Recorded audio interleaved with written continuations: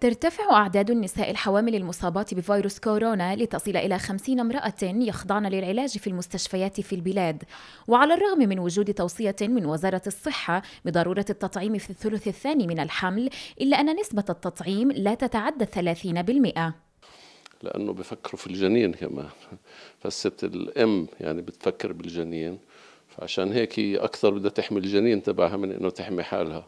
طبعا مش مهم بأي فترة حمل هي موجودة حتى بالأسبوع ال 25 30 يعني لما الجنين بيكون بعده مش ناضج إذا صابتها الكورونا لازم نخلفها ليش؟ لأنه إذا كان الحمل بيكون ماسك قسم كبير من البطن الرياض تقدرش تتوسع فأساس إنه لما بينطوهن التنفس الاصطناعي أساس إنه الست تاخذ التنفس زي ما لازم فلازم يقيموا الجنين من بطنها.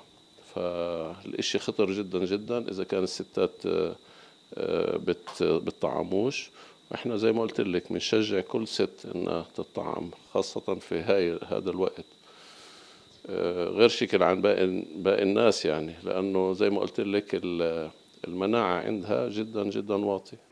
منذ وصول اللقاح في كانون أول الماضي لم تكن وزارة الصحة على يقين من وجوب تطعيم الحوامل والوالدات الجدد حتى بات من الملحوظ أن امتناع النساء الحوامل عن التطعيم كان نتيجة للخوف والغموض الذي كان منذ بدء حملات التطعيم في البلاد حيث تخشى الحوامل التطعيم خوفا من حدوث مضاعفات على الجنين فتمتاز فترة الحمل بانخفاض المناعة بنسبة كبيرة. أكثر النساء الحوامل وهي خطرة على النساء الحوامل.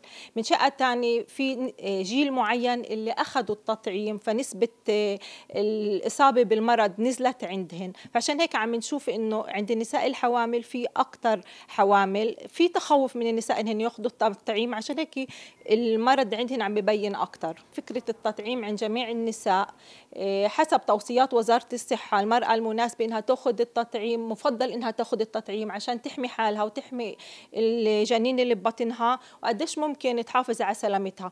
طبعا كمان تطعيم وكمان إنه نحافظ على حالنا مع كمامة أقل آه، تجمعات. المرأة تكون بعيد ما تقعدش في مجموعات كبيرة. هذا بيساعد إنه المرأة لا تصاب بهذا الكوفيد 19 تتعامل الكوادر الطبية في البلاد مع طفرات مختلفة من الفيروس ومع ذلك فحملات التشجيع على التطعيم لا تتوقف. فقد تأكدت فاعليته بنسبة تتعدى 96% من تكوين أجسام مضادة.